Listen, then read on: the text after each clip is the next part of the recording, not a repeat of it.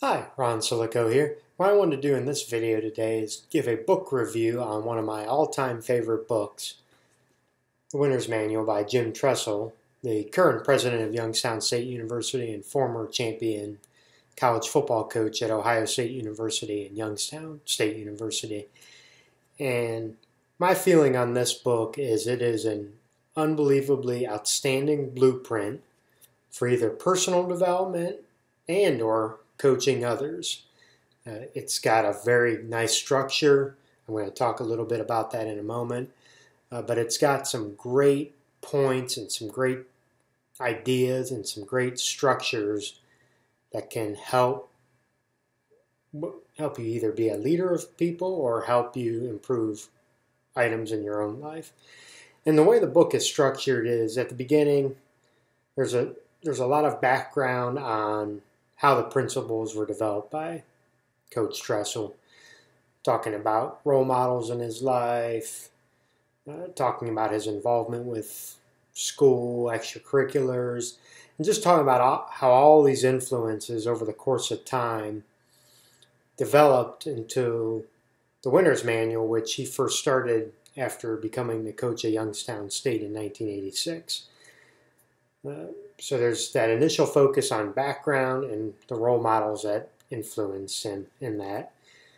And at the time he wrote this, he was still the Ohio State football coach, so it's got a strong Ohio State bent to it. And what I mean by that next is, in one of the first structures he talks about is the block O of life.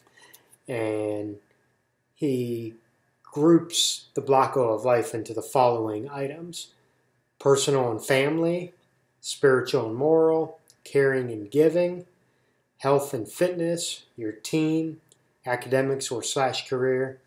And then within the structure, you develop short range goals and an action plan. And then what he has next is dreams and the long range plan, where you can talk about aspirational goals, future goals, however you want to term it. But that's the first structure he talks about is the block O of life. And then the second part of that, which makes up many chapters of the book, is the sections that he calls the Big Ten fundamentals. And these are principles that are that have time and attention devoted in each chapter, and it goes from attitude, discipline, excellence, faith and belief, work, handling adversity and success, love, responsibility, team, and hope. So those are the Big Ten fundamentals. And throughout the book, he uses anecdotes throughout his life, uh, focusing on his coaching career predominantly, a lot of the players, and, and, giving examples of situations that dealt with him as coaches and, and then players.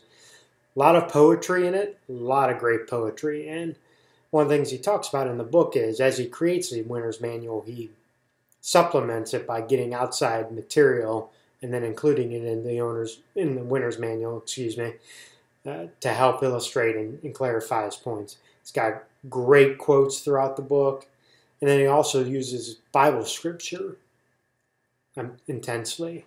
So anecdotes, poems, quotes, and scripture are really used to em emphasize the key points uh, within the winner's manual. I can't strongly encourage this enough, whether you're an Ohio State fan or not. I happen to be an Ohio State fan. But it's a great book, whether you're working with young people, whether you're a leader, or whether you want to develop some structures and get some ideas on how to have items in your life that you can strengthen and improve upon. So in the in the description section of the video, I've got a link that'll connect you to Amazon if you want to order the book, either physical copies or digital copies. Thank you for watching. This was the book review of The Winner's Manual by Jim Tressel, current president of Youngstown State University and former football coach at Ohio State University and Youngstown State. Thank you for watching. Have a great day.